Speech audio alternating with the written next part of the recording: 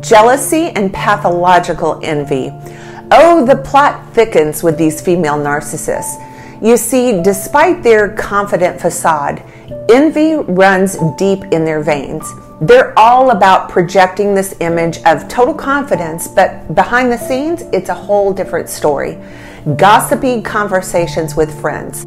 It's like this two faced dance where they're smiling to your face and gossiping behind your back.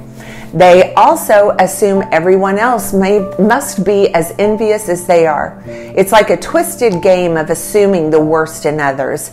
And that, my friends, becomes their secret sauce for narcissistic supply, all while patching up their oh so fragile ego.